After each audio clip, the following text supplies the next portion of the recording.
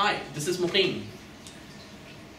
Body paints are indigenous dance movements may depict expressions, experiences, or certain interpretations. They are part of intangible cultural heritage of a community. In this application, I'm trying to create awareness about Native Australian or Aboriginals.